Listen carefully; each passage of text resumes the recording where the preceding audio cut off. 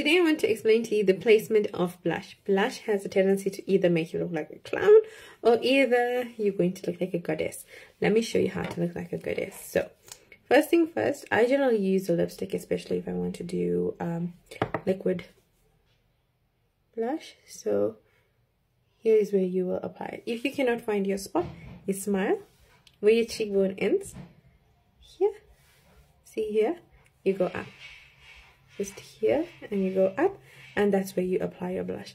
When you if you apply your blush here let's say this area right here when you smile that's the only time it's going to peek on your face. Other than that imagine how droopy it would look if you just have it here like a blob of nothing. Look at how pretty and lifted this looks. Now imagine if we brought this whole thing down right here and how droopy it would have looked. So remember when you are doing anything on your face always take it higher up so that it gives you a lift on your face and that you're not stuck with your face looking flat and looking off